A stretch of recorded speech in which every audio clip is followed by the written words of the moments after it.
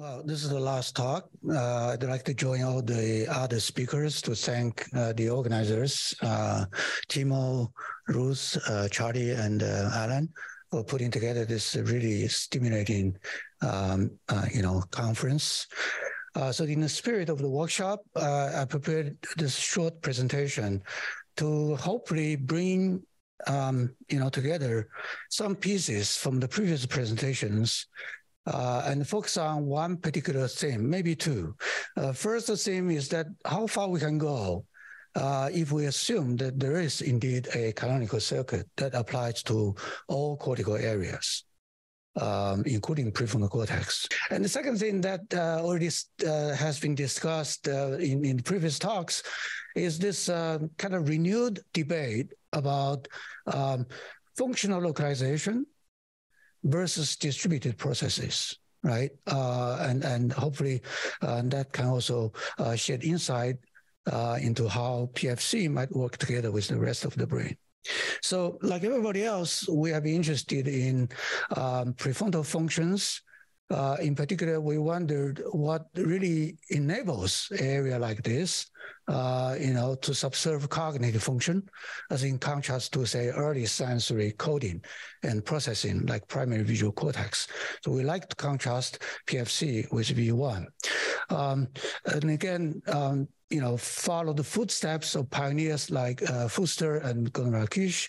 Uh, we have very much, uh, you know, focusing on working memory, which in some sense can be thought of as the, uh, if you like, uh, hydrogen atom of cognition. It's really the basic, basic uh, cognitive function, right? That's required for many um, types of behavioral flexibility. Um, so it turns out that the kind of neural circuit model designed to try to understand the mechanism for stimulus uh, selective persistent activity that self-sustained during a delay period in a delay dependent task um, is applicable to decision making. So it turns out that the, the kind of uh, local circuit model uh, that we and others um, you know, uh, developed uh, can be applied to both working memory and decision making. So here's a very concrete example. Uh, I'm sure many of you are familiar with this perceptual decision making task, where you're shown a display of random dots, and your job is to judge the net motion direction of this pattern. Uh, say upward A versus downward B. And the trick is to change from child to child the fraction of dots that move together, called motion strength or coherence right? Uh, imagine that you are asked to make such a judgment when the coherence is very low, so the inputs are very ambiguous. And then you have to hold in your working memory your uh, decision, your choice, for, uh, you know, through a delay period. So this kind of requirement would combine decision making with uh, working memory. So what's shown here um, on the on the right here are, two individual trial simulations of this uh, biologically based spiking neuron uh, network model, uh, just to illustrate two salient features of such a circuit. Right. On one hand, it has this ability to show uh, very gradual quasi-linear ramping activity on the time scale of a second or so, which has been shown by people like Mike Shadlen to underline accumulation of information in favor uh, of uh, different options uh, leading to a categorical choice. And the choice here is done through winner-take-all computation by attractor dynamics. And it's the same attractor dynamics that uh, can maintain the uh, you know choice uh, signal across a delay period right? So there's this duality between attractor dynamics and slow transient. Uh, because the circuit is biologically based, you can go from this recurrent population dynamics to behavior, like accuracy and reaction time as functional motion strength. And you can also go down to assess what really underlines slow reverberation right? Uh, in this case, we suggest that it's uh, dependent on NMDA receptor uh, mediated recurrent excitation in such a local circuit. And there is some evidence from Amy Arnsten's uh, lab uh, in support of this uh, idea. So this all happens, the slow reverberation um, mechanism happens uh, you can have this working memory and decision-making uh, capabilities when the recurrent excitation is strong enough, as shown uh, schematically. Actually, it's coming from the model uh, and shown here. Uh, so uh, along the x-axis is the strength of recurrent excitation. It has to be above a threshold level in order for this type of functionality to emerge. Okay, and this is the first example, I guess, um, you know, from local circuit model uh, that some. I really like the the phrase from uh, uh, Jessica and Carden um, Catalan, uh, that the differences in degree can lead to differences in kind, right? So here you have differences in degree can lead to, uh, you know, the emergence of uh, functional connectivity uh, capability um, through what's called bifurcation mathematically. Right? This is a well-defined mathematical phenomena that occurs only in uh, nonlinear dynamical systems. So um, we, um, over the years, have been uh, trying to uh, work with experimentalists and to look at different aspects of frontal functions. Uh, let me give you a few examples uh, coming from recent year research. Um, very much actually helped by uh, machine learning tools. So in this example, we asked how prefrontal cortex might represent tasks right? So uh, Robert Yang, as a graduate student, trained a single neural network to do 20 different cognitive tasks uh, that are commonly used in monkey experiments.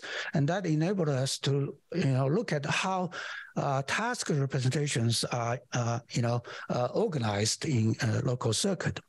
Uh, another uh, interesting recent study by uh, Vishwa, the same Vishwa that Adrian uh, talked about, is how a area like medial uh, prefrontal cortex, perhaps in collaboration with in interplay with uh, hippocampus, can form so-called schema in psychology that uh, is a, a, term to describe how our brain might acquire knowledge in order to speed up learning right? So this is a schema formation uh, in learning to learn task where the system learns to solve a series of problems.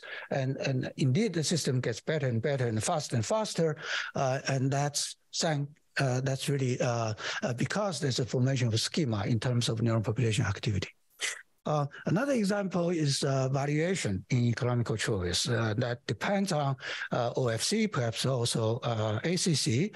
Um, so that involves uh, reinforcement learning in, in such a local circuit. And finally, um, you, um, you know, look at a, how a neural circuit can really learn to perform uncued task switching that involve ACC and perhaps also DLPFC. Now, uh, I'm sorry, I'm going to skip the details of each of these stories. I'd be happy to go into more details uh, offline if you're interested. Uh, but I want to spend the rest of the time to, uh, you know, tackle another line of challenge. So this line, if you like, is trying to understand uh, neural circuits, uh, neural circuit mechanism and the computational principles of different kinds of building blocks, right? Perhaps increasingly more complicated building, blocks of cognition, perhaps eventually including uh, symbols, including compositionality. Uh, in fact, the first uh, paper I mentioned actually tackles uh, the issue of compositionality in terms of task representations. Um, so the other challenge is uh, what uh, uh, Jorge uh, Mejias mentioned, namely we, um, I guess as a field, increasingly realize that, you know, when we talk about functional specificity, um, we don't mean that necessarily a function is localized in a tiny piece of the brain, right? Uh, so there is a subset of localized brain regions that may be engaged in a particular cognitive functions, uh, in a particular cognitive function like working memory. Um, similarly, uh, this is a study uh, of decision making, uh, context dependent decision making. When you record from uh, multiple brain regions, in this case, six or so, uh, six or seven uh, cortical areas, you pretty much can decode the behavioral attributes from all these areas to some degree right? So the question is, how can we understand distributed cognitive functions and how can we go from local circuits to large scale systems? Well, uh, uh, in that effort, uh, we collaborated with uh, Henry Kennedy uh, when his group uh, back then published this very exciting new database of area-to-area cortical connectivity in the macaque cortex. So Henry mentioned, you know, um, his work. So I'm going to skip the details, except to say that it's very exciting database. the connectivity at the level of cortical-cortical communication um, is very dense. About 65, 67% of all connections are present. So whatever I'm going to show you is coming from such a model with a lot of feedback loops, right? Uh, and the connection weights are, direct, are directed and they span five orders of magnitude. And finally, there's this uh, exponential distance rule. That means that, uh, you know, nodes are really not just um, you know, nodes of a topological graph, right? You really have to think about spatial um, uh, embedding uh, of such a cortical system. Now, suppose that I take this connectivity matrix, again, directed and weighted, and I want to build a large-scale multi-regional dynamical model for, say, working memory, right? Uh, so one thing, you know, you have to decide is what you're going to uh, incorporate in each local circuit right? Um, so the answer depends on the questions you, you want to investigate. Uh, so here, for the purpose of discussion, for the, this workshop in particular, it's relevant to assume that there is a canonical local circuit that's repeated right, many times, as advocated by, say, Douglas and Martin, and, and uh, it's really a major tenet in neuroscience. Now, if that's the case, how can I explain functional modularity? Right? Okay, and maybe part of the answer would be input output, right? PFC gets very different inputs, right? Project different outputs uh, than um, uh, V1, for example. That certainly is um, is uh, part of the uh, answer. But I'm going to fo focus on something else, which is heterogeneity right? So there are variations of biological properties uh, that have been shown by several speakers here, and it's known uh, for a long time. Uh, what's new, what's interesting is that uh, these days you can quantify uh, biological uh, variations across cortical areas, and I'm going to show you a few examples how you can quantify such biological properties, especially those that are uh, important for synaptic excitation and inhibition and dopamine modulation. Uh, those are, uh, you know, close to our heart, right? Uh, when we think about uh, cortical functions. And finally, that's where this uh, you know slogan uh, kicks in. Differences in degree will potentially lead to differences in kind, and through bifurcations. All right. So that's uh, what I want to show you. So what do I mean by macroscopic gradient? Uh, um, uh, Jorge already mentioned an example of spine count uh, from the work of Elston in collaboration with his colleagues uh, at the Cajal Institute, you know, Javier and, and, and Ruth.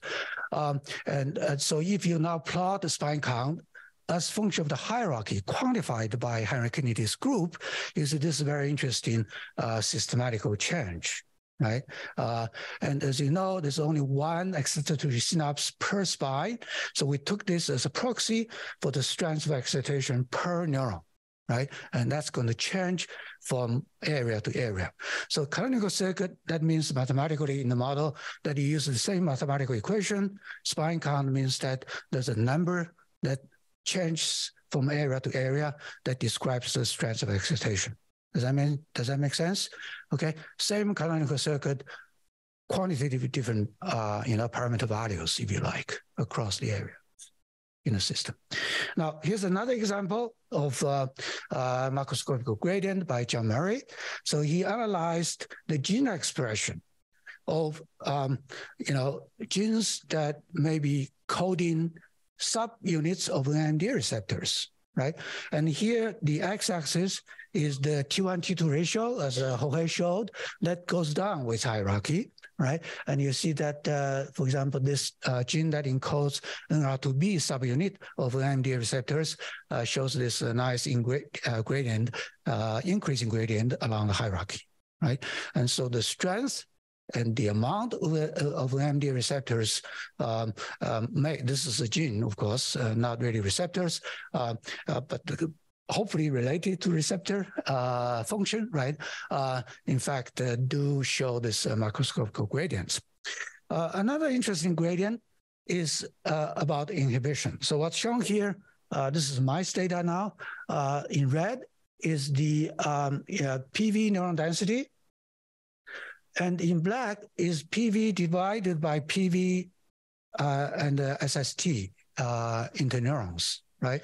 And so to simplify, PV neurons control outputs of pyramidal cells, and SST neurons that target dendrites control the inputs to pyramidal cells. Right. So in some sense, this uh, black curve, uh, rank ordered, uh, measures uh, to what extent in each area along the x-axis you have in proportion more input controlling versus output controlling interneurons right? And naturally, you'll see that uh, early sensory areas tend to cluster here that have a lot more output controlling interneurons, whereas uh, higher areas like uh, frontal areas tend to have a lot more SST uh, positive input controlling interneurons. Right, so this would, you know, be a another gradient, macroscopic gradient of uh, interneuron um, um, distribution, if you like, along the hierarchy. Now, uh, one more example of uh, macroscopic gradient um, is um, um, about uh, receptor labeling uh, data from uh, um, the lab of uh, Nicola uh, Palamaro Galaga, who is here. And, and, this is the work of Sean, who is also present. so what you see here is that D1 receptor labeling density per single cell uh, shows this very nice uh, gradient along the cortical hierarchy, right? Um, so if you incorporate, um, you know, a gradient like this, like the spine count gradient, uh, in such a dynamical model now, in which again each local circuit is described by uh, identical mathematical equation with different parameter values of excitatory neurons inhibitory neurons, um, we observed this um, emergence of a hierarchy of time constants that was described uh, yesterday uh, uh, in the context of mice experiments. Um, so um, that was, you know, uh, in fact, and certainly not uh, uh, put in by hand. It kind of emerge, emerges from from this model, and from from there we uh, moved on to look at different um, you know kinds of questions. Uh, but uh, I will just focus on distributed working memory for the rest of the talk.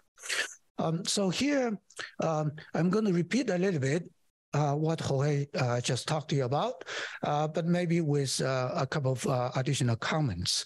So he used for each local circuit exactly the same local circuit model I described to you at the very beginning of the talk. Right, two selective excitatory neuron populations, one inhibitory neuron population, and now the strength of excitation is going to obey this gradient across the hierarchy.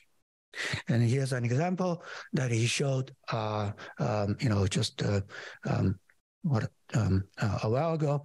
And this is the activity map doing a brief uh, stimulus representation uh, that is confined in the posterior part of the cortex.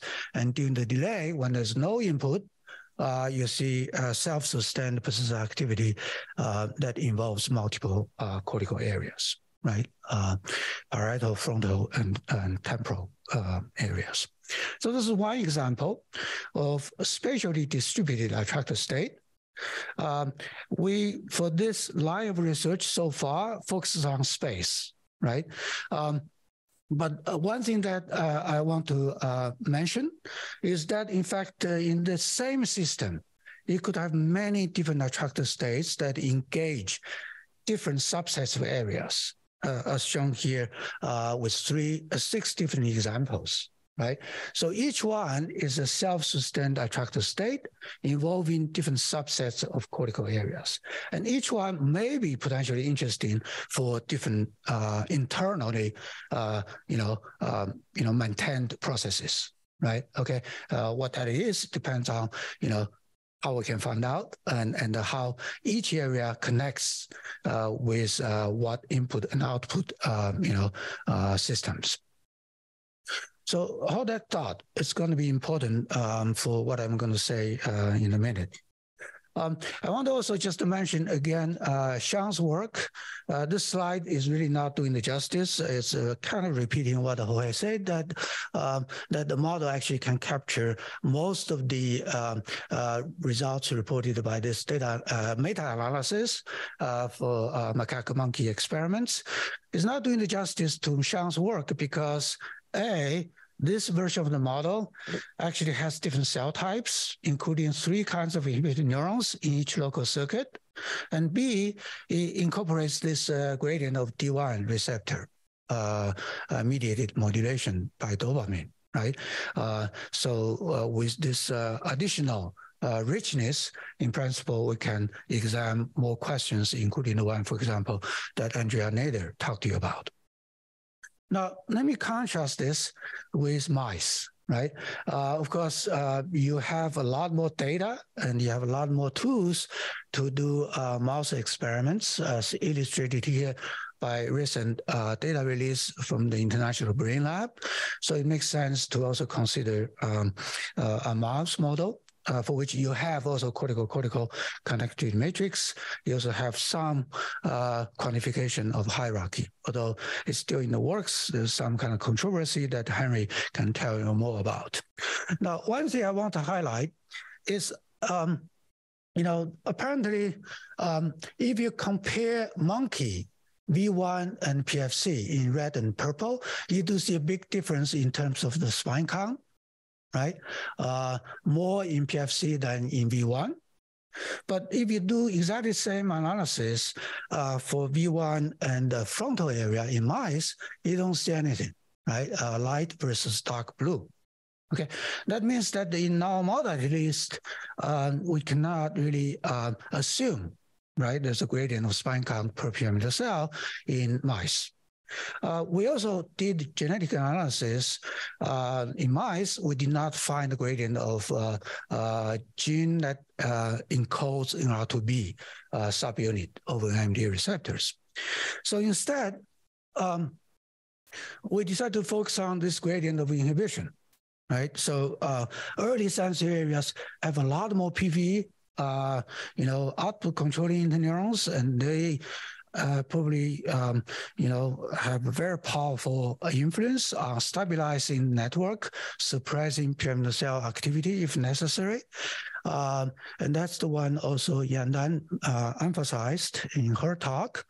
Uh, so we asked, what if we have a mouse model with connectivity from the connectomic data analysis, and then incorporate uh, this kind of uh, gradient of inhibition. And that's the work uh, done by graduate student Xingyu, uh, Xingyu Ding. Uh, sometimes we also incorporate thalamus in, in, in, his work, and this just was put on archive. By the way, Xiang also played a big role in, in this line of research. So here's an example of um, uh, a single cell uh, simulation of a uh, visual delayed response task. And here you see that uh, V1, for example, uh, uh, responds quickly to a brief input, but uh, when input is gone, the activity usually does not linger around for a long time, but some other areas show sustained activity. I forgot to say, maybe Jorge also said it, but I want to repeat. Both in the monkey simulation I showed you. And in this example, we assumed that if you disconnect areas, none of the isolated areas can show delayed activity. Okay. And you say PFC neurons always show delayed activity in, in the real experiments. Um, but then I will respond and saying that you don't know if that's really produced locally, right? It could still depend on long distance connection loops between PFC and maybe parietal area, maybe some other areas, right? So we we of course can change the parameters so that some local areas are capable of persistent activity and decision making uh, computations, which actually have some reason to believe is the case. But it's a pure good example in modeling uh, to look at the emergent uh, uh, persistent activity pattern when none of the isolated local circuit uh, can generate persistent activity.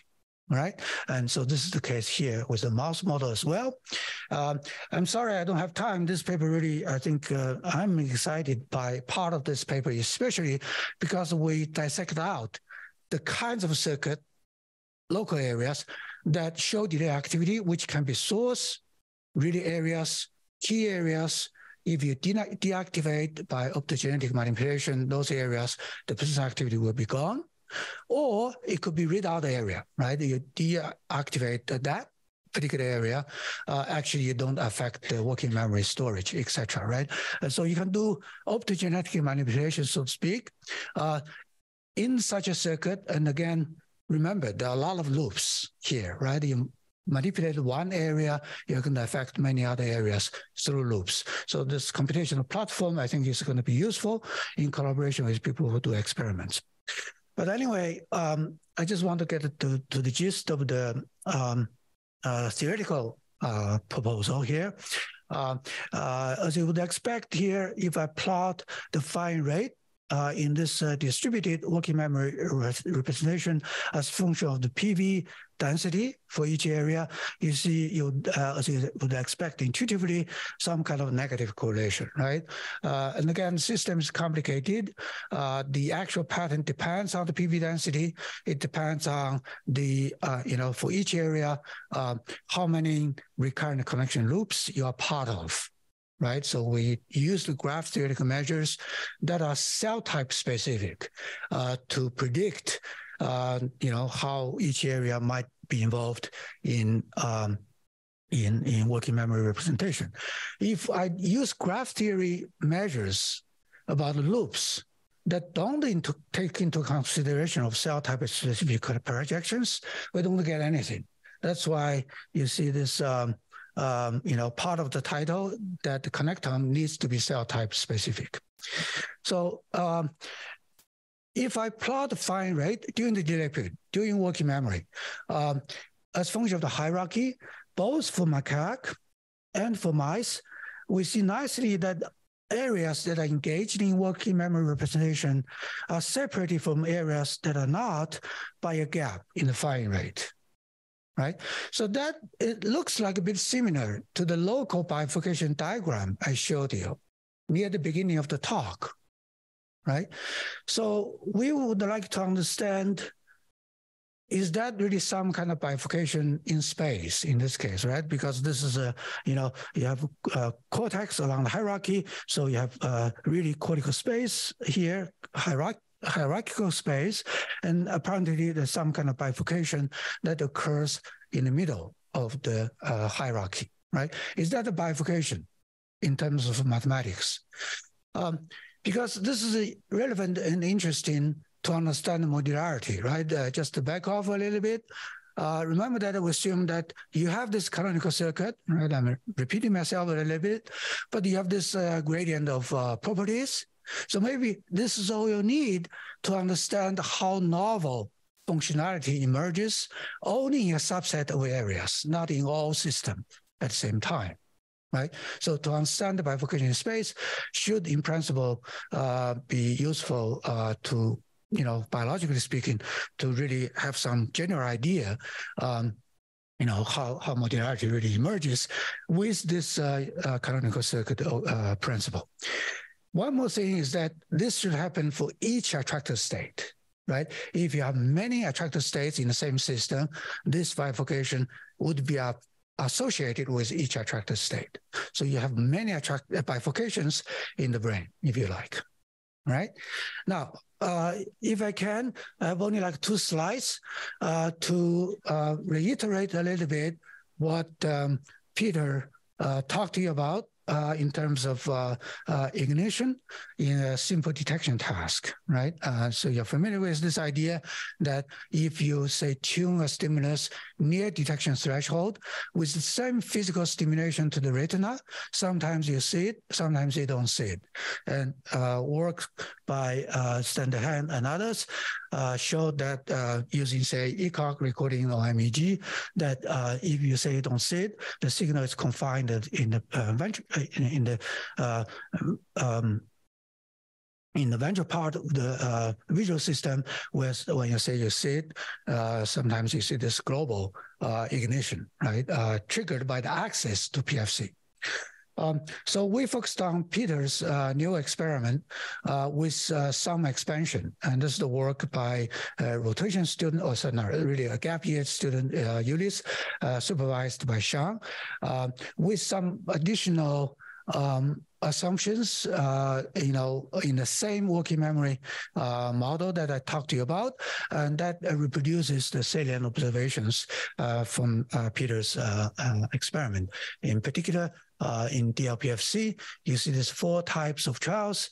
Um, the hit trial shows this, um, you know, switching activity. in miss trial, the activity is low. when you don't show stimulus, uh, usually the activity is low, corresponding to correct rejection in black, but sometimes uh, the false alarm occurs because you actually uh, do um, uh, see this uh, um, um, kind of switching on of uh, prefrontal cortex and the rest of the brain, if you like.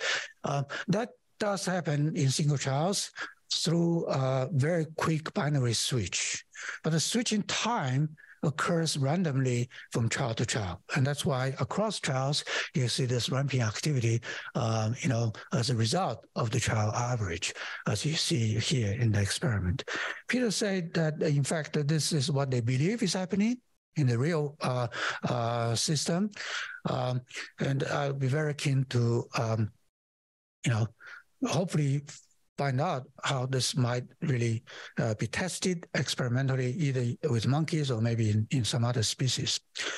Um, and another thing that you can study uh, with this kind of model is what areas might be more important than others to uh, change the false alarm rates right? Okay, I don't think that's uniformly distributed again, uh, so maybe uh, you can pinpoint the sources of air, source areas that somehow um, play a oversized role in generating false alarms. Those may be the same areas that can generate uh, sometimes hallucinations, right? There's nothing out there, but you think you see something or you hear something. So let me end by uh, summarizing one punchline or take-home message uh, to, to you know um, you know discuss, namely, uh, if there are no real, this is a if, and we know there are novelties, right? Certainly between species and maybe across different parts of the cortex, but under the assumption that you have this canonical circuit and you have more or less the same uh, wiring, right, across uh, the cortex. And you also assume there are several macroscopic gradients of biological properties that are functionally important by, you know, for excitation, for inhibition, for dopamine modulation, for serotonin. Uh, we have uh, exciting new data, uh, again, with uh, Nicola and Sean, that serotonin receptor uh, labeling density also show a, a, gradient, actually not along the same axis. Uh, and so if you have multiple macroscopic gradients, right, low dimensional, quantifiable variations, and then on top of that, quantification um, you know, leads to potentially this uh, bifurcation phenomenon, right? And I think that's an interesting way to think about how modularities uh, might be explained uh, in uh, together uh, with this uh, general cortical organization. Thank you so much.